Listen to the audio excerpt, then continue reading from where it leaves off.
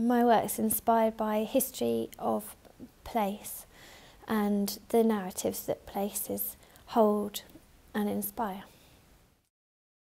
We are at Cromford Mill, the site, I think possibly of the first ever, the cradle of the Industrial Revolution, the first factories um, where the first cotton mills were.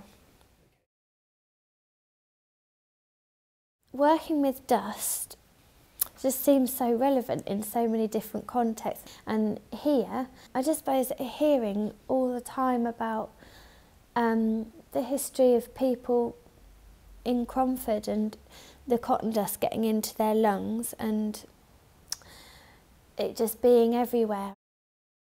The dust is made from cotton, the raw cotton, and I've used calcium carbonate from Longcliffe Quarry as well just to um, get the finer powder because obviously now cotton's not produced in this country anymore.